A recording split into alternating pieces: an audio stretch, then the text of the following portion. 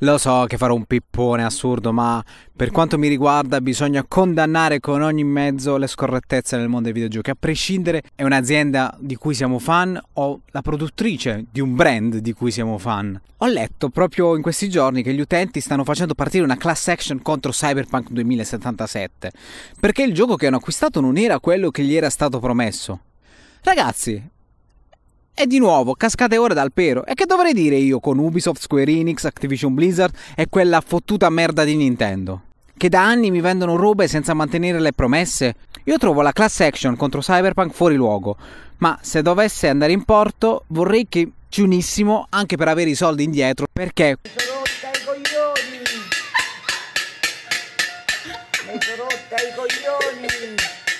Questo schifo avviene solo nel mondo dei videogiochi, nessun altro settore del commercio. Ogni volta che acquisto un titolo videoludico al day one è un po' come se io andassi dai, dal concessionario per comprarmi un Alfa Romeo Stelvio, però poi una volta che ho pagato, ho fatto il contratto, loro mi dessero una Fiat 500X.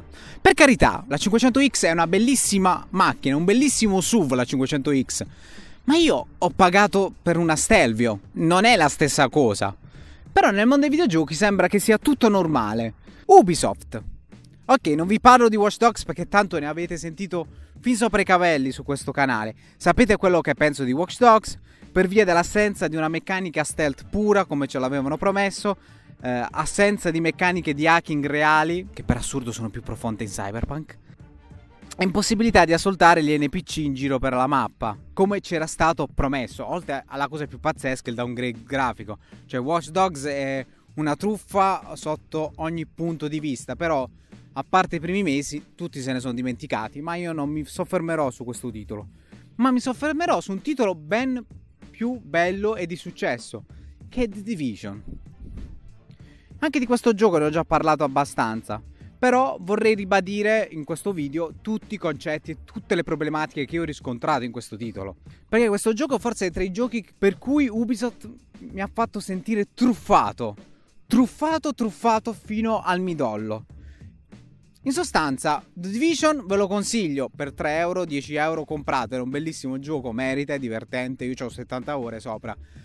Però io il mio pre-order l'avevo fatto per determinate caratteristiche che mi erano state promesse in sede di E3, in sede di conferenze, in sede di articoli, interviste agli sviluppatori. Ovvero, nessun sistema survival.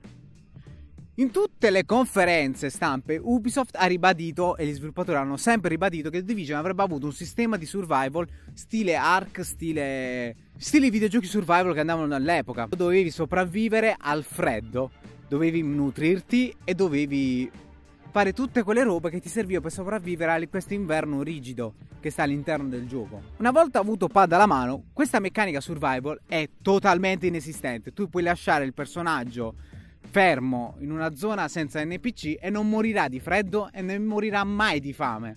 Quindi la meccanica survival è inesistente. Sì, poi ci hanno dato un DLC contentino a solo questa meccanica, ma io la volevo dentro il gioco fin dall'inizio come parte integrante del gameplay. Miseria. Leggendo le recensioni di sto DLC, tutti hanno detto: Porca miseria, questo sarebbe dovuto essere The Division fin dall'inizio. No, come DLC esterno. Nessuno mi aveva parlato di DLC gratuito esterno. Sistema tattico tipo XCOM, o più simile a quello che si era visto nei primi capitoli di Rainbow Six e Ghost Recon. Ebbene, questa meccanica tattica è inesistente perché tu nel videogioco sei single player, non hai nessuna IA non puoi acquisire NPC. L'unica cosa che puoi fare di tattico è magari far entrare nella tua partita un, un amico e giocare con lui e fare le tattiche a voce normalmente. Ma non c'è nessuna gestione di A di truppe di assalto come l'avevano promesso.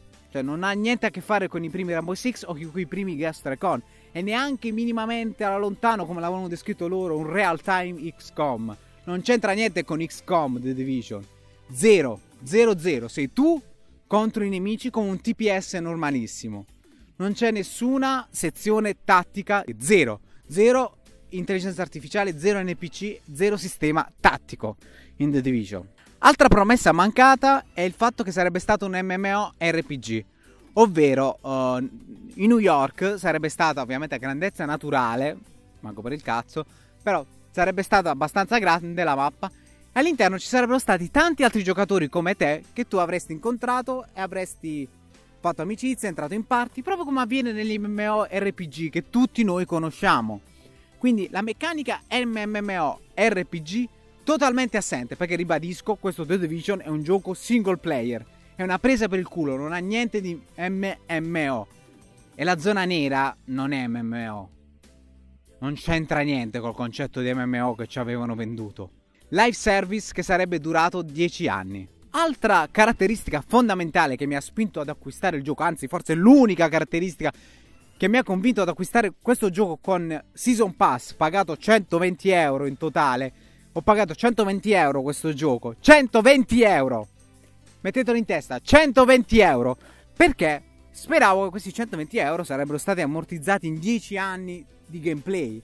Perché ci avevano promesso che sarebbe stato un videogioco live service che sarebbe stato mantenuto come una specie di Destiny 2, Warframe e tanti altri titoli similari, sarebbe stato mantenuto per parecchi anni, con l'aggiunta sempre di nuove missioni, nuovi DLC e quant'altro. Sarebbe stato in continua espansione, invece questo titolo è durato appena un anno e mezzo. Solo un anno e mezzo nemmeno 5 anni, un anno e mezzo. Questa per me è una grandissima truffa perché ho acquistato questo gioco per poterlo giocare 10 anni, non un anno e mezzo, 10 fottuti anni. Mannaggia Gesù Cristo, porco di Dio, porco di Dio, porco. Ma sommato, sommato, sommato io.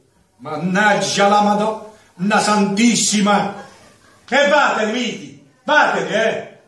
Ti do qualche cosa in testa? Ovviamente poi è uscito The Division 2. Ma il bello è che The Division 2 non è un'espansione tipo Season 2 del gioco The Division. The Division 2 era un gioco standalone a parte, un secondo capitolo ex novo pagato di nuovo a prezzo pieno, quindi una truffa legalizzata. The Division fino all'ultimo è stato una truffa legalizzata e nessuno ha fatto una class action.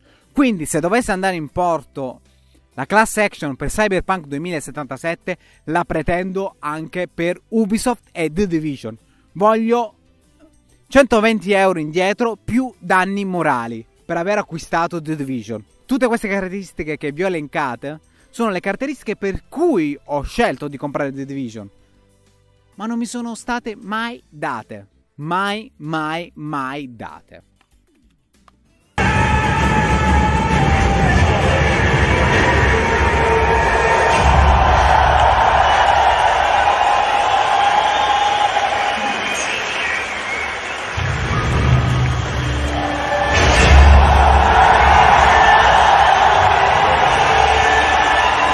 Diablo 3.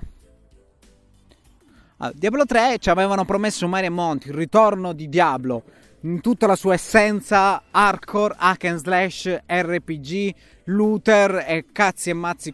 Chiunque ha giocato Diablo 2 sa cos'è Diablo 2.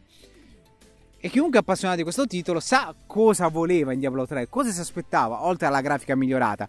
Si aspettava un sistema di gioco abbastanza complesso, profondo, con varie classi, comunque si aspettava un Diablo 2 espanso, o perlomeno Diablo 2 modernizzato. Invece qui non abbiamo avuto niente di tutto ciò. Diablo 3 è semplicemente un cazzo di hack and slash looter che cammini avanti, te, tra un po' non lo riconosco da Dynasty Warriors. Mi viene da dire perché mi devo comprare sta cacata di Diablo 3 quando potevo permettermi un Dynasty Warriors. Non ha nemmeno l'unghia della profondità che aveva Diablo 2. Ma chiudiamo un occhio perché sappiamo che la gente moderna non gli piace giocare a giochi complessi, quindi ci può stare che l'hanno alleggerito.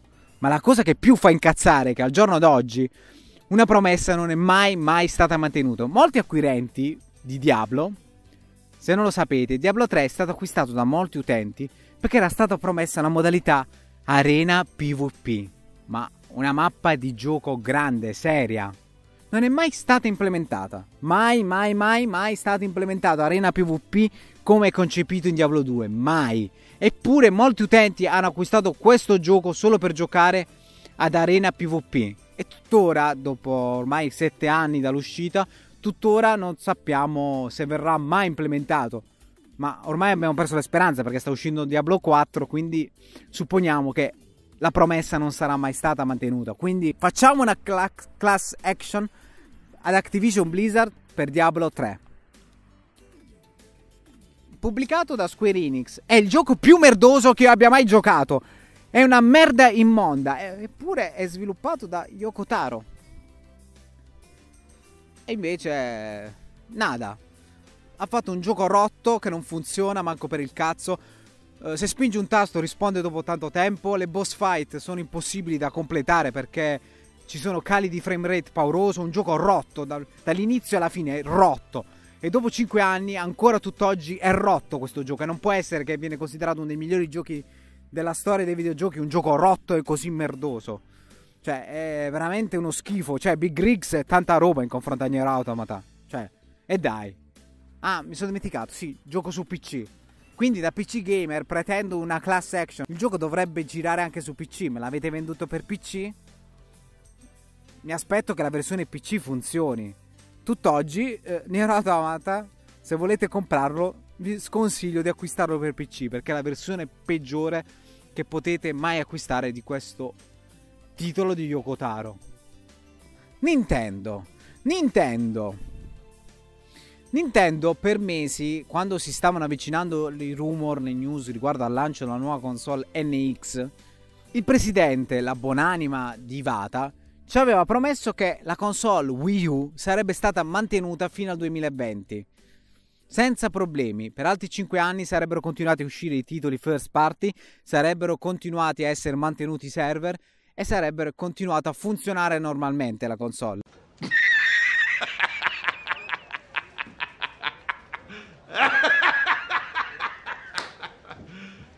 You serious?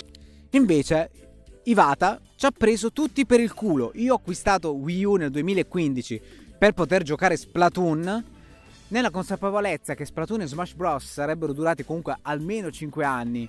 Quindi avrei giocato per almeno altri 5 anni, nonostante sarebbe uscita quella che poi abbiamo scoperto essere Switch. E invece non è andata così. Nel 2017 già era stato smantellato tutto. Wii U dal 2017 ha smesso di avere nuovi giochi pubblicati sull'eShop, anche di first party, non sono più usciti first party.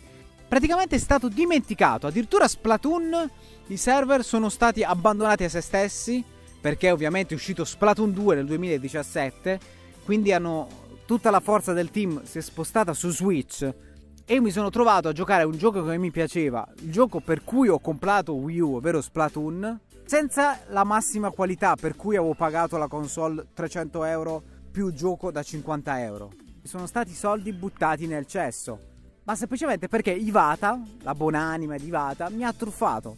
Mi aveva promesso che la console sarebbe stata mantenuta 5 anni, invece è stata mantenuta solo 2 fottuti anni. Ho potuto giocare ai videogiochi per solo 2 anni. E per giunta quella console io l'avevo comprata per avere Metroid Prime 4, Zelda, Smash Bros, Splatoon e altri titoli. Smash Bros ormai c'è l'Ultimate, quindi se voglio giocare sono obbligato a passare a Ultimate per giocare competitivo. Splatoon, se voglio giocare devo passare al 2 per giocare competitivo. E la cosa che più mi fa incazzare è che hanno fatto uscire un Zelda diverso da quello che avevano promesso, più castrato, senza, con meno funzionalità perché devo girare anche su Switch. Quindi io la trovo una mancanza di rispetto verso noi acquirenti da parte di Nintendo, una truffa legalizzate di cui nessuno si è lamentato perché ovviamente le console sono state poche. Noi pochi acquirenti di Wii U dovremmo unirci in una class action contro Nintendo per farci avere i nostri 300 euro indietro oppure ci regalassero una cazzo di Switch. Regalata l'accetto la Switch, ma pagare 300 euro dopo che mi ha truffato questa azienda. Che ne pensate? Queste sono alcune delle mie problematiche che ho avuto nel mondo dei videogiochi alcune delle volte in cui mi sono sentito truffato e mi fa ridere che la gente si sia sentita truffata solo stavolta, semplicemente perché Cyberpunk 2077 non gira sulla loro console old gen, mentre altre aziende non hanno mai subito nessun danno. Quindi se dovesse andare in porto io pretendo che queste aziende mi diano i soldi indietro, quelle che ho citato in questo video, se dovesse andare in porto la class action contro Cyberpunk. Voi da che aziende vi siete sentiti truffati? Fatemelo sapere nei commenti e se vi è piaciuto il video condividete, se non vi è piaciuto condividete insultandomi E mi raccomando, mettete mi piace, iscrivetevi al canale e cliccate sulla campanellina. Fanculo Ubisoft.